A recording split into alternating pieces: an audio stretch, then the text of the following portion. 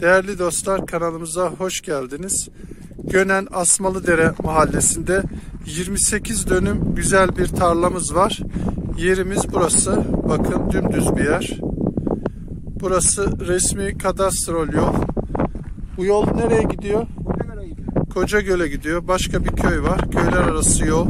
Karşısı Manyas Kuş Cenneti.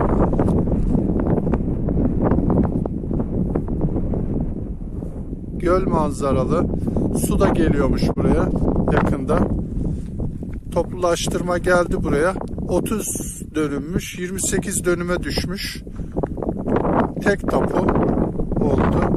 Köye de 500 metre 600 metre mesafede. Burada ne olur? Güzel bir çiftlik olur. Evet. Güzel bir hayvan çiftliği olur. Bakın ileride de çiftlikler var. Hayvancılık yapıyorlar. Çok güzel. Köye mesafesi de kurtarıyor. 5-600 metre. 500 metreyi geçti mi kurtarıyor bildiğim kadarıyla. Yerimiz düz, yolun kenarında. Elektrik alınabilir.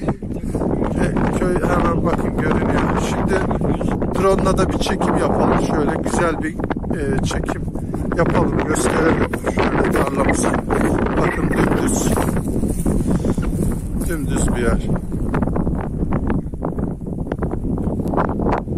Sınır şu karşı karşıdaki ayçiçeklerin oraya kadar gidiyor bakın.